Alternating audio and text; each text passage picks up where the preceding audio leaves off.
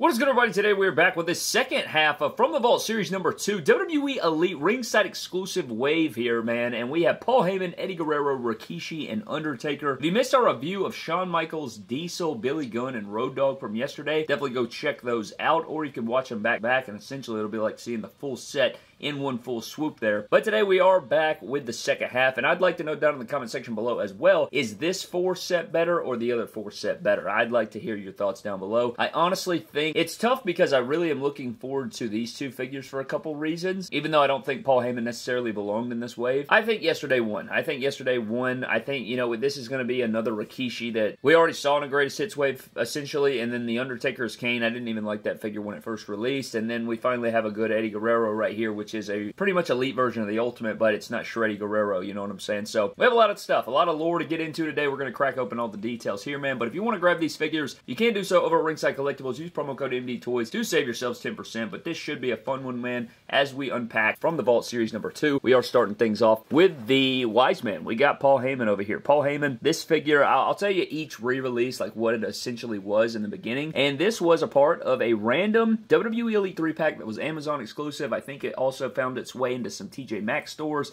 some other stuff like that. This is the Paul Heyman from that pack, but it includes a basic head sculpt from a previous Paul Heyman and a Build-A-Figure Paul Heyman head sculpt from a previous figure. So there's some cool lore around this Paul Heyman right here, and he comes with the Blue Universal and WWE Championships. We have Eddie Guerrero here, which... Uh, it's it's kind of unfortunate, man. It's kind of unfortunate because I don't think they really fixed the skin tone here. They said they fixed the skin tone. Looks to be the exact same skin tone. It does come with the WWE Championship. This is based on the Legends WWE Elite Eddie Guerrero from back in the day, and it's a much better head sculpt, obviously. It's the same gear we've seen now. This is the third time we've gotten this gear, but I don't know. I just think that it's not the right skin tone in comparison to the SmackDown 4-pack, which we'll take a look at when we get into some comparisons with this figure, but I am happy to have this Eddie Guerrero. More Eddie, more time, love it. And then we have have Rikishi right here, which I think is an Elite 27 re-release, if I'm not mistaken, and that figure was redone in Hall of Champions. And then we got it in the Greatest Hits Series 1, and it's, I, I know it's not identical, but it's very, very similar, and we're going to unpack all those details, get into it, break it all down, but he comes with a SmackDown Tag Team Championship, and it's cool because I think every single figure comes with a championship in this wave, which is very cool. So eight figures, multiple championships, a lot of gold to go around, but the last figure is going to be a formerly done ringside exclusive. So it's back here as a ringside exclusive. It is Undertaker as Kane, two in one figure with the mask and the interchangeable Kane head sculpt. And we do have Undertaker as Kane right here. So it's a, it's a bit of a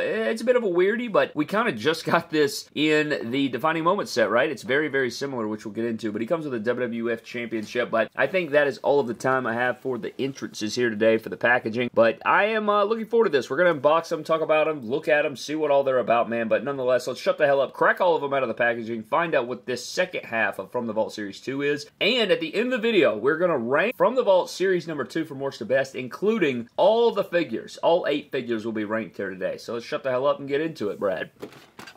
So here is our second half of From the Vault Series number 2 featuring Paul Heyman, Eddie Guerrero, Rikishi, and Undertaker as Kane, or Kane 2-in-1 ringside exclusive formerly. Dual sleeve deal going on, man, and a lot to discuss with all these figures, but just like the first go around, we are going to dive into each figure's accessories, each figure individually. We'll wrap it all up, and I'll give you all of my thoughts on all of these figures that we feature here today. So with that being said, man, let's dive into it, shut the hell up, and digress into these action figures. So getting into Eddie Guerrero's accessories, we do have a championship just like the rest of the waves, and it's one of the most underrated title designs of all time. One of my favorite WWE championships ever, man. The Undisputed Championship, the, you know, WWE Championship, whatever you want to say. It is a smaller version. They've made a couple of versions here. And this title for me is just so nostalgic and it's so nice. Such a clean title. Very excited to have another one of these in the collection because it's not, you know, it's kind of a rare championship when you think about it. But this is a perfect piece for Eddie Guerrero. You can put this on so many guys. I love this title. I think it looks great in figure form from Mattel. And I love the small version. It just looks so damn good and classic. Just, yeah, I love it. And then for his interchangeable hands, you do get the fisted hands with the white pegs for the white hand tape. You get mic holding hands to hold microphones and stuff. I got a little skin tone run right there. Not the biggest deal ever because I have so many interchangeable hands, but hopefully that is not just a recurring thing. And last but not least, you do have the Randy Orton style entrance hands, you know, where he's, you know, kind of up on the turnbuckle there, but they used them for Eddie Guerrero, which I think are great hands. Uh, very expressive hands. Any hands that make the figures come to life, always a fan of that. So for Eddie Guerrero, I really don't like that this figure's looking off to the right, and I don't like that they didn't fix the skin tone, man. They did not fix the skin tone. We were told the skin tone was going to be fixed, and it's the same skin tone, man. It's the same. It's the same. There's nothing different. They fixed it on the four pack, you know, the Target four pack, little SmackDown. It's supposed to be this skin tone. It is not. So that's uh that's unfortunate because this figure is so good and everything like that, and we'll compare it and everything. But the likeness is good and everything. You do have the Macho Man torso, Jack shoulders and arms. Got the tattoo on the forearm right there. And he does have his No Way Out gear with the red, the gold, green, black attire. Obviously, got Latino on the back right there. Then he does have his gold boots, which is, you know, not a bad figure. I do like the figure, of course. It is Eddie Guerrero. It's an updated take, but it, I mean, it's basically the Ultimate Edition with a better torso. I mean, that's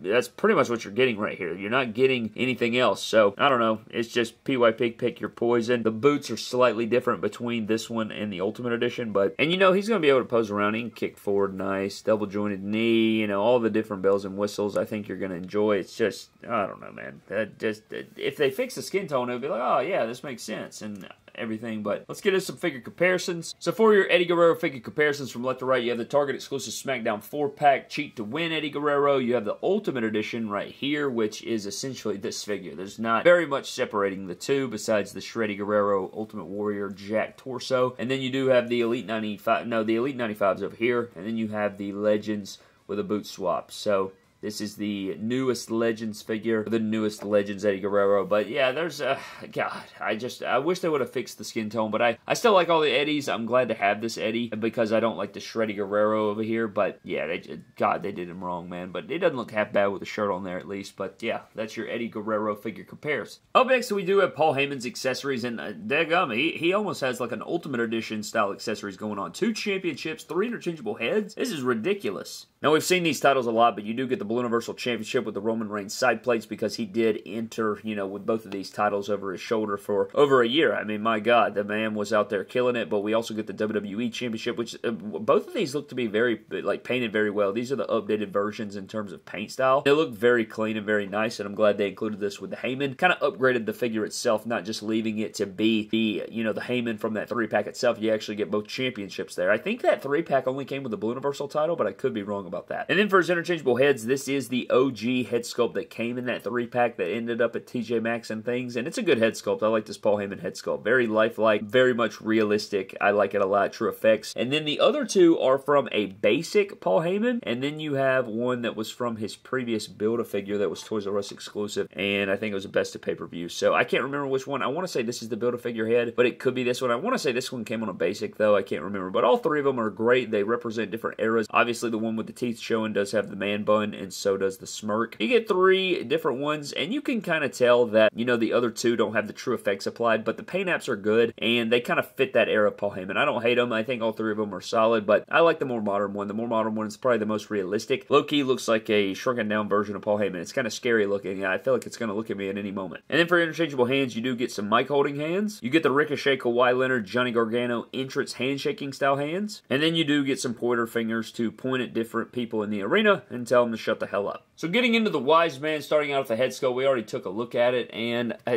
this figure was released so soon ago that if you compare the two, this figure, I, I do like the head sculpt here better. I feel that, you know, my other one seems to be looking off to the right. So this is the newest one, this is the older one, and I mean, they both have double jointed arms. All the colors are virtually the same. I'm not seeing any differences between the two, but the suit is nice, the tie is nice. I do like that the head sculpt's looking straightforward. He does have a, you know, potato dumpling body going on right here. Navy coat and double jointed arms, which I like. And you do have the posable legs and stuff. They always do a really good job on the suited figures. Brown loafer kicks right there. And again, as far as comparisons, this is the three pack, and then this is the newest one. I really, I think I gave this figure the hardest time about being included in this wave, just because I felt like it released yesterday, so I didn't see a point in giving us this figure. Was my overall thoughts on it? It's just weird how you know this figure just came out, and we have so many more greatest hits waves coming that there's no telling what they're going to plug into these waves, man. I'm just telling you, you just need to be very, very cautious about what you're holding on to if you want to get the bang for your buck. I'm telling you, man, I would move stuff. I would just start moving stuff because I think eventually it's going to get re-released, especially when we have so many re-release waves. I just thought that this was a baffling one. I guess some people didn't have an opportunity to own it. I just didn't like that the turnaround time was so fast. I think we should have had to wait for a little bit, but I do appreciate the Paul Heyman figure as it stands. I mean, I'm pretty sure it came in highly on my top 10 that year when that figure released. Was it 2023, I think? I, will have to look, but I want to say it was like number seven figure of the year or something in terms of elites, but I don't know. What the hell do I know? So for the Dead Man's Revenge Undertaker as Kane figure, we do get a championship, some interchangeable heads. We got a lot of stuff going on. I feel like deja vu kind of because we just reviewed that Kane, the Defining Moments Kane, because that is exactly what this head sculpt is, but you can see they actually painted the beard in there compared to the Defining Moments Kane, but it's essentially the exact same head sculpt from the Ultimate Edition, but it is painted well. Good paint apps on there, but it is a interchangeable Kane head sculpt. That is nice that you could use as a Kane with dual sleeves, or you could use it as Undertaker actually wearing the mask, or you could use it as Undertaker removing the mask, which is what this is, and I've never liked this head sculpt. I like the eye black on it, the detail on the eye black, you know, and the makeup, but I do not like this head sculpt. I think it looks nothing like, like Undertaker makes his head look so damn long, and then you get this sculpted mask that just looks way too big. It's so damn big, and the hair is so big, and then you can put this over this, and I guess that works, but then when you put it on the figure, it just looks massive, and it doesn't look natural. It does fit up in there nicely. It just doesn't look good on the figure, in my opinion. And I don't know. I, I do like that you get a loose mask. I think that's an awesome idea. I like masked accessories like Asuka and Sting from Jazwares with the Supreme and things of that nature. But this right here just doesn't get it done for me. I think it's way too big and oversized, and it just looks crazy. So I don't know. It's still a cool accessory to have for maybe display or something. You can get creative with it. I just think the head's so long that it makes the mask look long and it throws it off. Like look at the comparison between these two. You can see how much bigger the head is. It just looks kind of ridiculous ridiculous. And then we also get a WWF Championship, one of my favorite championships of all time, and it's always nice to add one of these to the collection, of course. This set is just packed full of championships, man. So if you guys collect belts, this is the belt collector way. And then for interchangeable hands, you do get regular hands here that are mic holding, and the right hand is just a molded hand in black. It doesn't have any glove sculpt, which we talked about with the Kane from the Defining Moments set. I hate when they do that. I just think it's a missing detail. And then we have the choke slamming or pre-choke slamming style hands. You have the left off hand that's wide open for a choke slam, or you could do like, you know, Rising the Dead, or, you know, for the pyro and the turnbuckles. But then the right hand with the glove is so nice. I talked about this with the Defining Moments Kane as well. I just love the sculpt of this. It just looks so good. You can see the paneling on the back and the, you know, just the stretched out glove. I just think that's awesome. So they do, they do a good job on these. I just want to see this glove mold executed more across the line. And the Undertaker as Kane. I want you guys to see this real quick. We're going to put this mask on here so you can see how ridiculous it looks. He just looks like a damn... He looks like the, the mascot Major Chip Hazard off of Small Soldiers. And I know nobody will get that reference, but my lord, his head's massive. I do like the expression of the Undertaker here. I just don't like the head sculpt. I think it's too long and looks a bit weird. Again, I do like the details of the makeup and everything like that. And I do like the figure. It's a double jointed dual sleeve Kane that you could easily make into Kane. And I don't know what I'm going to do with my first version and my second version. We are going to compare the two as well. But I used to use my other one as Kane. Should I use this one as Kane now and put that one on the Undertaker shelf? I don't know what to do right now, but I love the gloves and the gauntlets here. It's essentially just the same stuff, man. I mean, you have painted red and black all the way down, pins in the legs, but they do have Ultimate Edition boots here, which are very nice. I think that was a clean little piece right there to plug in. I like when they include the Ultimate boots on the Elite figures. Now, as far as articulation, he has the damn Rey Mysterio Elite 1 syndrome, where you try to push the leg forward and it gets cut and, and you know stuck and the other leg has it too so it's just one big piece of shish and I did find it hard to kind of stand the guy up but if you want to bring in the other figure here is the OG that I've been using as Kane for, you know, the last three years or whatever it is. So the boots are different, and then that's, uh, you know, the double jointed arms. The reds are slightly different. This is a lighter red than this one. I feel like this red would be more accurate. I don't know if you guys can tell, but I mean, essentially they're the same thing. I don't know if you guys can tell. Also, the peg over here is skin tone compared to the black peg over here. So definitely some eh, some improvements between the two, but nothing that's. I didn't really care for this figure when it first released. It wasn't my favorite ever. So it's mainly the head sculpt though. It just kind of I don't know. I feel like it should look more like that, but I, I don't know. I don't know what the hell's going on anymore. And for Rikishi's accessories, you do get quite a bit again. I mean, they have loaded up this entire wave. I've talked about it before. This entire set is loaded up with accessories, which is always appreciated. But we do have this waist wrap here, which is, you know, kind of the classic Mattel deal. I do, all, I've always liked the lettering for the Rikishi. I just thought that always looked good. But it is a big rubber piece that does attach. You can wrap it around the waist and then attach it up there with the belt loop. And this isn't my favorite. I wish it was cloth. I just don't like the rubber. And once you put this on there, it's pretty much sealed. You're not going to be able to articulate him really. So, I don't know. Not my favorite piece. Just, eh, I mean, it's cool. It's got some cool wrinkles and logos and stuff, and the colors are nice and they pop very nicely. I just don't really care for it. I, I don't like the big hunks of rubber like that or pieces like that. So we're moving on to another accessory and another underrated championship, man. The SmackDown Tag Team Championship from the Ruthless Aggression era. And any Ruthless Aggression era championship is, is underrated, man. They're just so good. What a time to be alive. If you missed it, you missed wrestling. You know what I mean? It's sad. Just very sad. Sad loser. But this title looks very good. I like it a lot. I've always been a fan of this. Even though we only get one, I think it's nice to have. Always love a bonus title. Then we also get a pair of yellow sunglasses, which don't really fit the figure all that well, to be honest. But, you know, it was Elite 27. Maybe they weren't really thinking about what they were doing. I want to move this back just a hair so you guys can see. It doesn't really grip on anything. Like, it'll stay on there, but you can see it doesn't hook on his ears or anything. So, there's that. But, I don't know. It doesn't look bad. It's just, you know, the sunglasses. At least it comes with something. And outside of that, you do get the mic holding hands for your Rikishi. You get the fisted hands to beat the hell out of people. And another day, another Johnny Gargano handshaking entrance style Ricochet Kawhi Leonard classic hands. And wrapping up from the Vault series number two, we are going to get into the Rikishi figure. And the head sculpt, I don't know, man. It looks very cartoony. Reminds me a lot of the Elite 27, which I do believe this figure is based on. I just, why would you, why would they make, you had the Elite 27, you made the Hall of Champions, then they did a greatest hits version and we're kind of seeing the same thing with the Yokozuna, where they're re-releasing the exact same figure again for no reason. We just got an Ultimate Edition. I know we don't have an Ultimate Rikishi. It's just very odd that they do this. But I don't know. I like the paint apps better on this on this other greatest hits Rikishi better than this, and I just think it looks more realistic. And it may be a different time frame. I got it, but necklace looks good and everything. He does have the waist wrap in there, the elbow pads, got the big black wrist tape. Do have the Rikishi across the front with the tassels hanging down. His butt was definitely more exposed than this, but you know they gotta eh, they're not gonna put all that cheekage into a figure, man. You know, so big chunky thighs though, big knee pads, and then he does have the solid black kick pads in there. I like Rikishi. I've always liked Rikishi a lot. And here is your kind of comparison between the greatest hits one, and I think all that's different really is like a repaint of the waist wrap. Outside of that, double jointed arms, all that, all of that other stuff is the same. I don't really know, man. It's very crazy.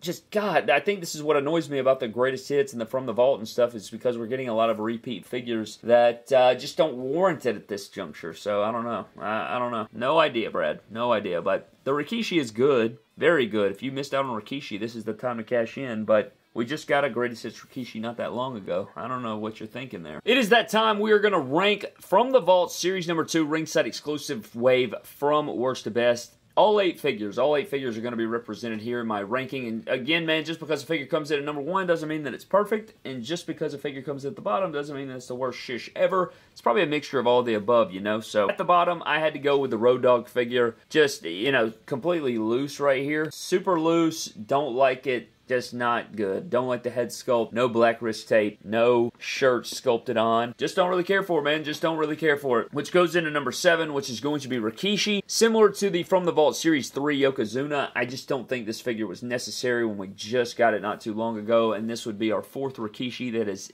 just, it looks the exact same to me. It's just not a lot, you know, not a lot humming right there. Number six is going to be the Diesel figure. I did like the Diesel figure, but I don't know. I just, I, I'm not a big big Diesel guy, and I, I don't know. I understand its inclusion, it just wasn't my favorite. And you could probably switch this one and the next one, and maybe I got them mixed up because the next one is going to be The Undertaker as Kane. I really don't really care for this figure all that much. Wasn't my first choice when learning about the From the Vault series number three. When learning about series two From the Vault, I really didn't want the figure all that much. And I felt the same way about this next figure, but the figure's so damn good that what are you going to do, man? It's going to be the Paul Heyman. It's such a good figure, even if it didn't really belong in my mind. I still think that overall, it's too good to not include in the top four of this entire set. It's a great figure. It's just I don't think it was necessarily needed at this moment, but what are you going to do, man? Next up at number three, we do have the Billy Gunn. I really do like the Billy Gunn figure updated, you know, cloth goods and everything. It just looks and feels good. It's not like Road Dogg. They changed some stuff up on Road Dogg. Billy Gunn stayed the same the whole way through. They just gave him a cloth goods shirt, and I think it's good enough. The Hall of Champions Billy Gunn re-release here is very nice. Then we get down to two and one. Number two, I went with Eddie Guerrero. I love that OG Legends figure.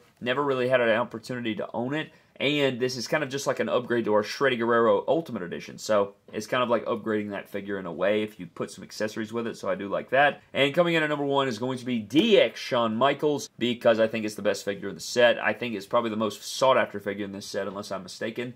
but I just think it looks so good, and I always like that figure and everything. Even if the head sculpt's not my first choice, it's better than just re-releasing it with the same exact head sculpt that we've come to know from Mattel and everything like that. But that is pretty much going to wrap the video, man. Hope you guys did enjoy wrapping it up on From the Vault Series number two. My overall thoughts on this set is, I don't know, it doesn't move the needle all that much, and I can't remember my initial thoughts on the entire wave. You'd have to go back to WrestleMania 40 to see what I say, but I'm pretty sure I liked some of the inclusions, and then some of the other inclusions I was like, eh, what the hell is that? I don't really understand this one. So I think it was Heyman and Rikishi that really bothered me the most on selection, and then the rest I could understand it, but then, you know, there's certain hiccups in the wave and everything. I don't know. I think that Series 1 of the greatest, or From the Vault, I'm trying to think. It was definitely better than this. From the Vault Series 1 was definitely better than Series 2, but nonetheless, man, I'm getting the hell out. I hope you guys did enjoy. Huge shout out to our Patreon members, man. Appreciate all you fellas. Thank you guys so very much for your support as always. I love love each and every one of you guys.